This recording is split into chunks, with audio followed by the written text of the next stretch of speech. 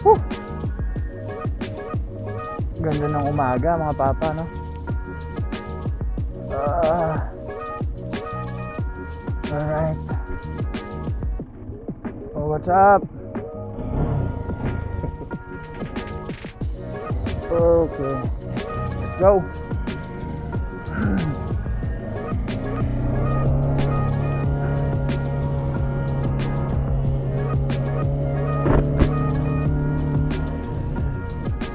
So ang dumi-dumi na ng motor ko no? Okay. So good morning sa inyong lahat mga papa. Okay so it's Sunday. So pupunta natin yung event ni biyahe ni Bex Ni Cedric ano? Um, Kasamahan natin yan sa um, Motovlogging dito sa Bicol. Okay So napakalapit lang ng ng venue nila dito sa akin. Pero pupunta muna tayo kay Motospit. Doon kami magkikita-kita nila Locomoto, si Gerald ni Motospit ano. Doon na kami magmi-meet up tapos sabay-sabay kami pupunta doon sa sa venue ni Bex. Alright. So naka-shorts lang tayo no. Shorts gaming tayo. ngayon. Okay.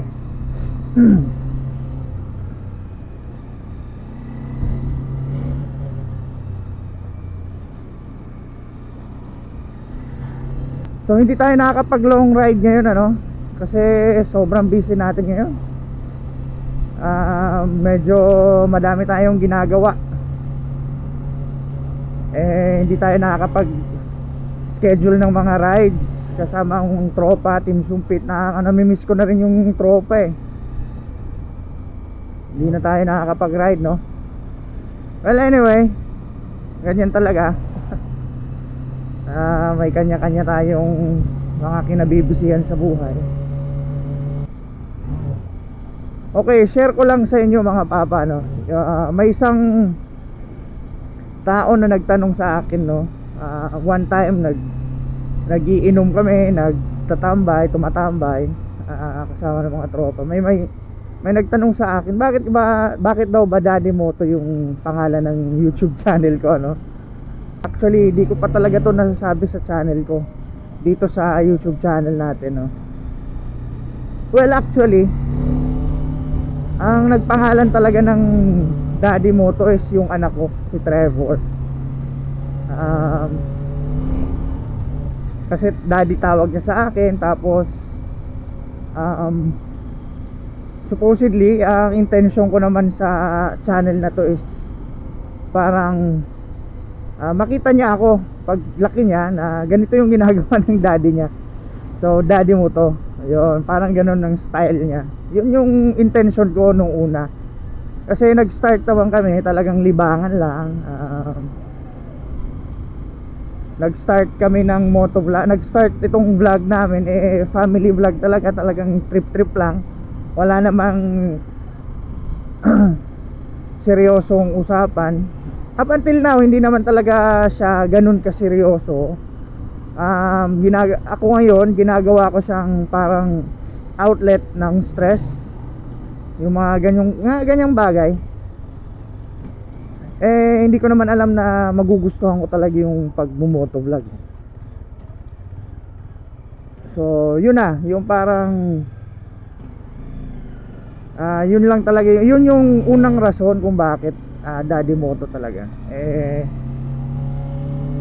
saka wala akong maisip that time kung ano talaga ipapangalang sa channel ko no? Anyway kasi lahat naman ng pinupost ko dito sa youtube channel ko is lahat ito eh parang ano ko libangan ko lang naman. Katulad ng pag-airsoft um, pagmumotor basketball mga ganyan. Kaya makikita mo dito sa channel ko lahat lang naman yung ginagawa ko sa buhay no? Hindi ko pinipressure ang sarili ko sa paggawa ng mga kung ano-anong content. Kasi wala naman talaga yun sa intensyon natin ano?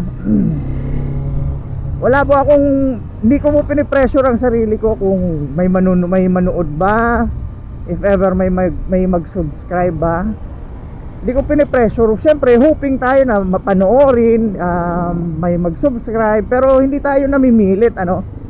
Eh kung pareho lang, kung pareho tayo ng trip, okay, di pwede mo magustuhan yung ano, yung yung mga mapapanood mo dito sa channel, di ba?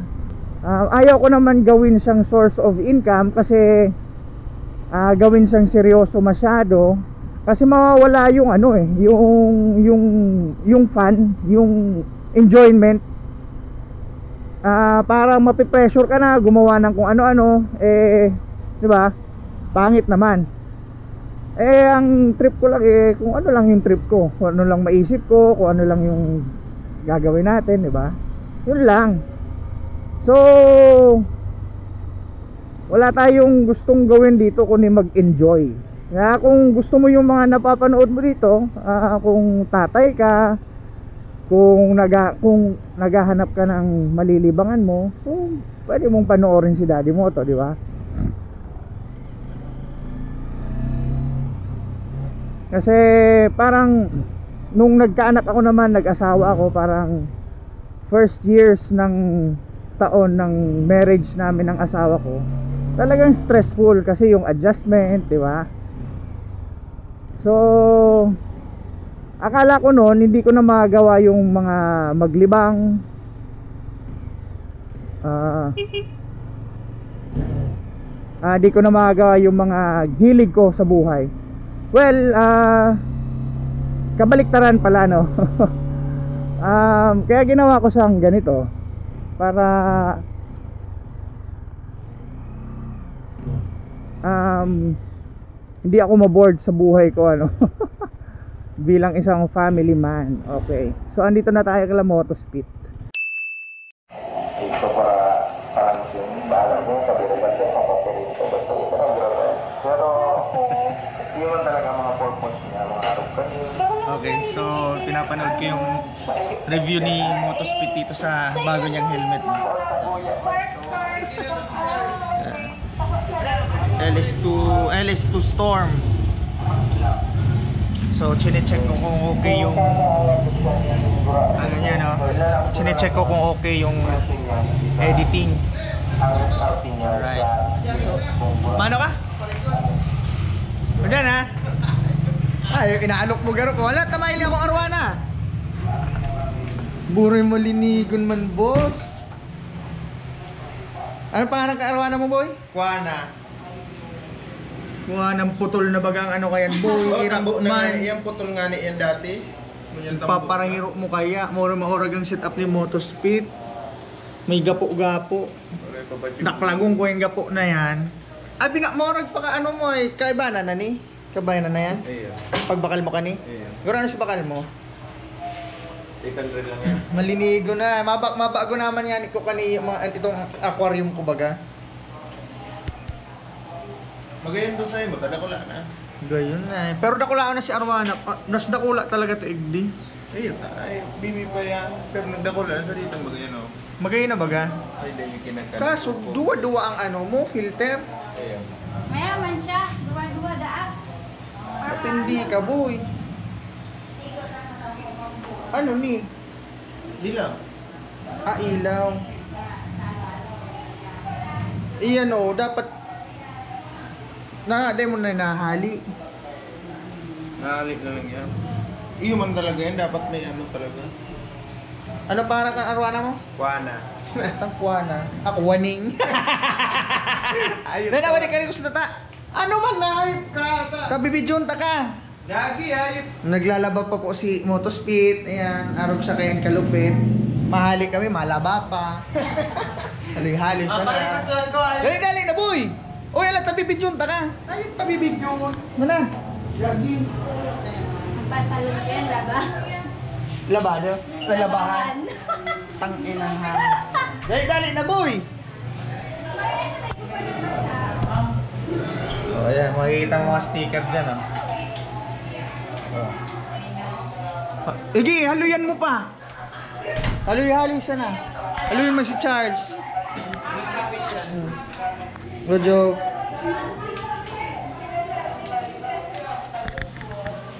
Hintayin lang natin to matapos si Motospin ano. Tapos si Charles. Tagal. Okay, so on the way na kami papunta dun sa event ni Bex. Okay, so Shoutout nga pala kay Locomoto at saka kay Motospeed. Yan, maka, makakasamahan natin yan sa pagbo-vlog dito sa Bicol. So, paki-subscribe nyo na din yan para naman ah ma-monetize na sila, no?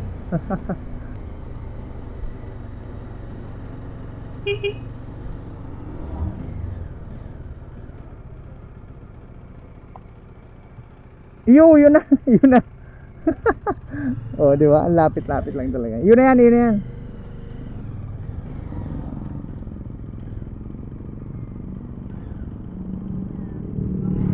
Ay.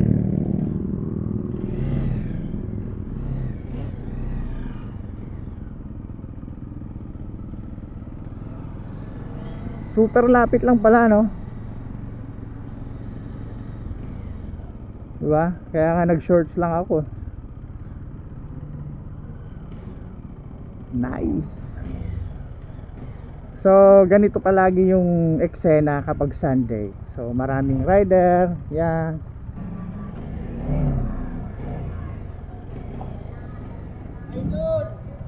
Boss! Igwa!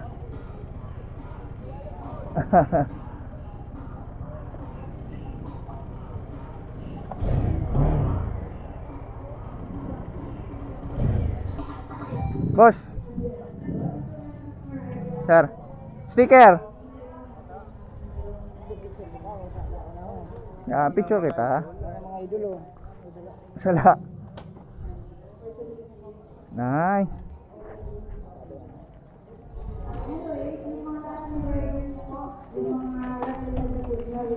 Sir, oh. Pera.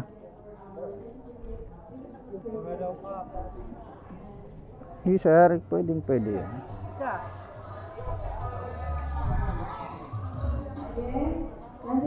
Nice, thank you sir. Ay, sige po. Yan. Oh. Tawag mo na lang sinta sir. Ma'am, si ticker po.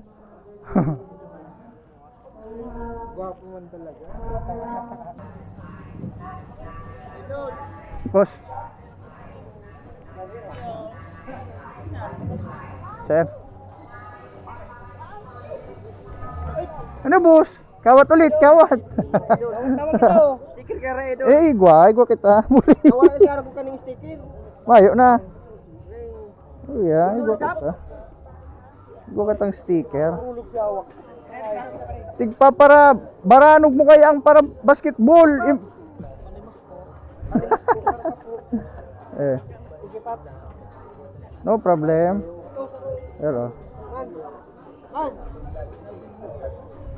Oy. Tinira mo man si San. Eh. Ay, ano? May kawat. Alright. Okay, no problem. Thank you, thank you. Oh, yan na si Bex. Sir, sticker. Yo, X. Thank you. So, yan na si Bex. Oh. Siya yung may pasimuno ng ano. Oh, kiss na. Shout out.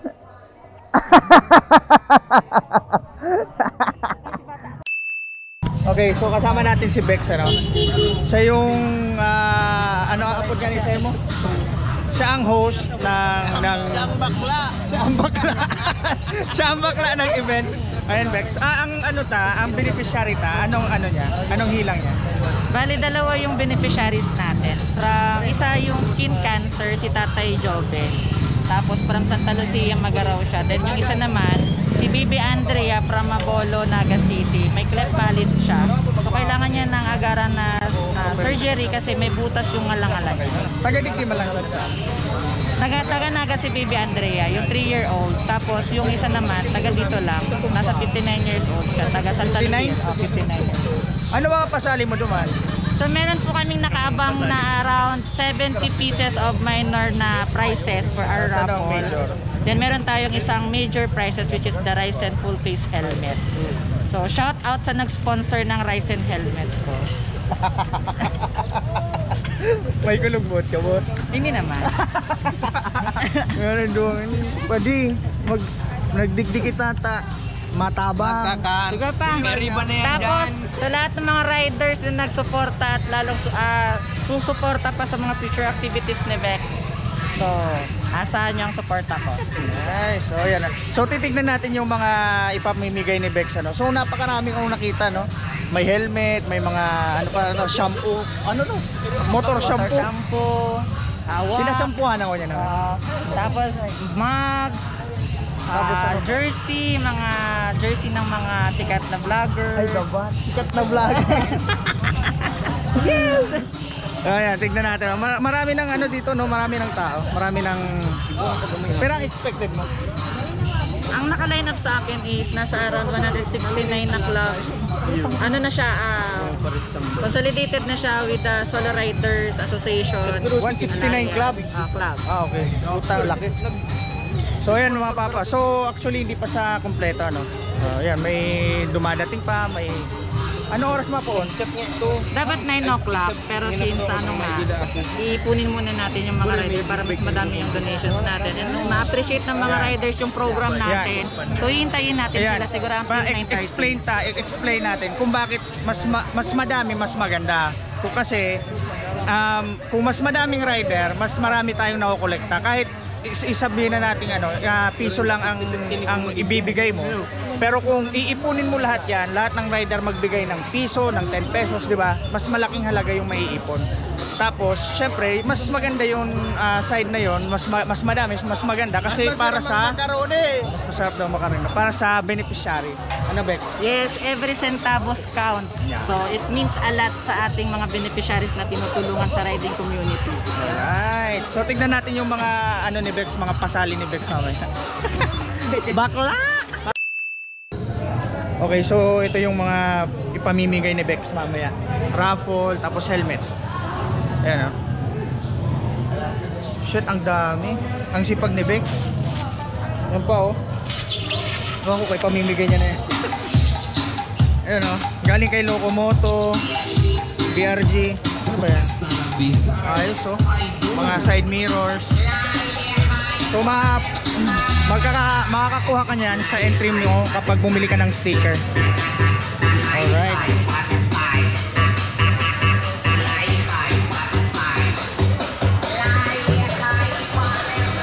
Dito yung registration.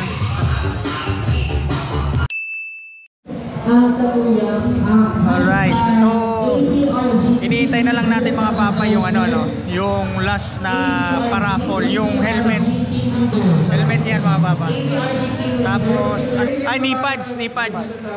So, hintayin natin baka, baka mabunot tayo ano.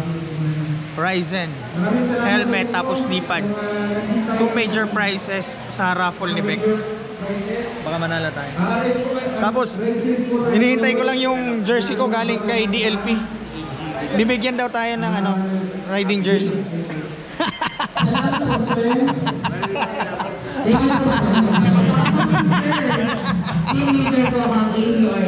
Alright. Yung mga naghihintay para doon sa helmet, no? Ipapagod ang salita na naman nasa inang Miss Annalyn po. Yan, shoutout sa mga naghihintay ng helmet. Miss Annalyn po. Ka- Kabali ako dyan. Our ano po, akin. May lumapit sa... Alam ko, alam ko mga pag- Yan yung number natin. Ano? So wala yung 241. So hintayin natin baka mabunot ako. Two number? Tayo na lang muna sa ka. Two numbers, Mayo? Na, daw, no. Two numbers.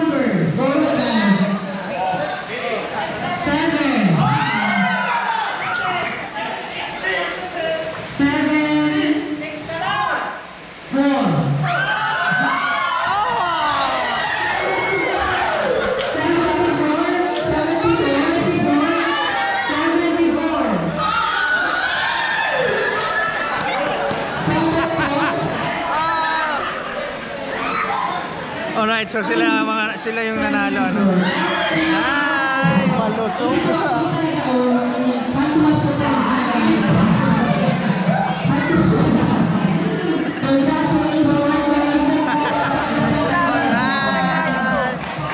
Alright. So, congrats sa nanalo, ano? Ay, sayang, oh, nag-iintay lahat. Oh.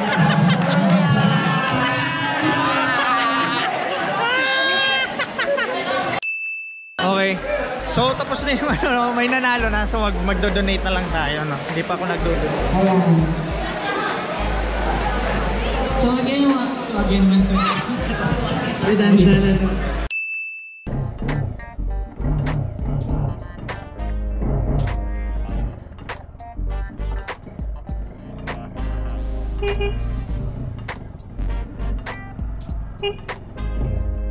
Brad. So medyo maulan na mga papa. Uwi na tayo. So congratulations kay biyahe ni Bex ano. So napaka-solid nung arfak nila. Ang dami niyang naparaffle ano, ang daming nag-sponsor sa event niya. So congratulations, congratulations din sa dalawang batang beneficiary. So 19,000 yung naipong pera tapos hahatiin yun sa kanilang dalawa plus may mga bigas tapos may mga ah, gift certificate pa atang naipon ano? So malaking tulong na yon para sa mga batang yon na may sakit. Tapos yung isa ah, sa operation daw. So napakagandang ano yon simula para sa mga pangangailangan nila. Okay, so shoutout din sa lahat ng mga motovloggers na nakasama natin. Tapos shoutout din sa mga Acro Alpha Caparo na nakasama natin dito sa event. Solid kayo mga brad. So sana nag-enjoy kayo dito sa ating munting ano ah, biyahe ngayong araw. Okay, so hanggang dito na lang mga papa. So kung di pa kayo nakakapag-subscribe sa aking YouTube channel, please do like, comment, share, and subscribe. So follow nyo na din yung Facebook account natin. Ride safe, God bless, and peace out sa inyong lahat. Let's go!